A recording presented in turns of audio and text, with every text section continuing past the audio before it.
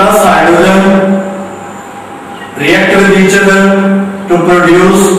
ammonia. لیکن جیسے جیسے امونیا بنتی جائے گی یہ امونیا پھر ٹوٹنا شروع ہو جائے گی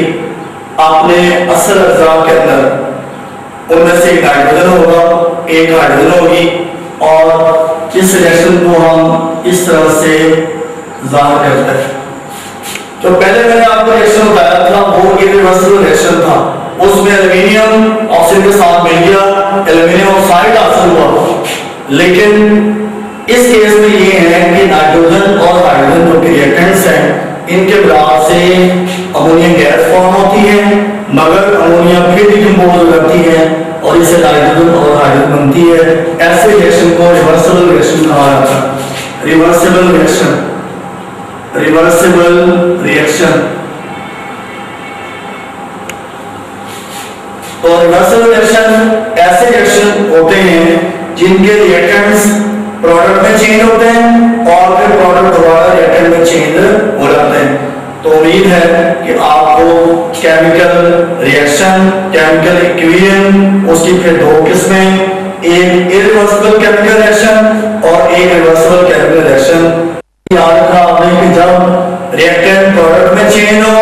اور پروڈکٹ ریئیکٹنٹ میں چینج ہو ایسے ریئیکشن کے لیے یہ والا سائن جو ہے یوز کیا جاتا اب میں اگلی بات کر رہا ہوں وہ ہے how to balance chemical reaction how to balance chemical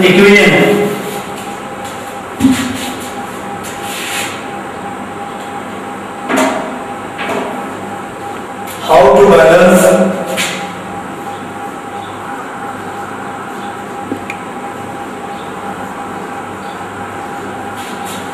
chemical equation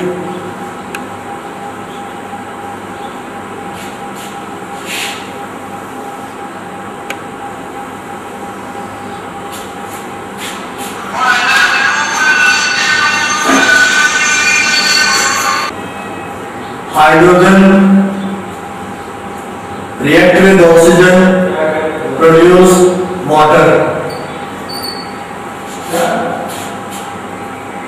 یہ ہائیڈروجن اور آکسیجن دونوں ریٹنٹ ہیں